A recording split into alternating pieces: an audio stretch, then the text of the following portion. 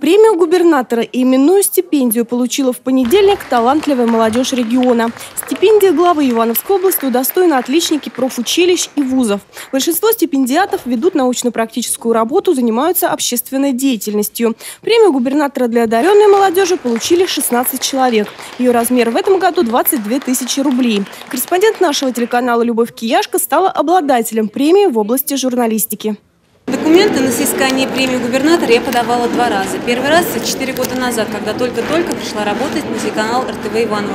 Конечно, я понимала, что мало, наверное, шансов, и действительно первый раз успехом не увенчался. Но я не стала пускать руки, продолжила усердно работать, и, как мы видим, сегодня эту премию все-таки я получила.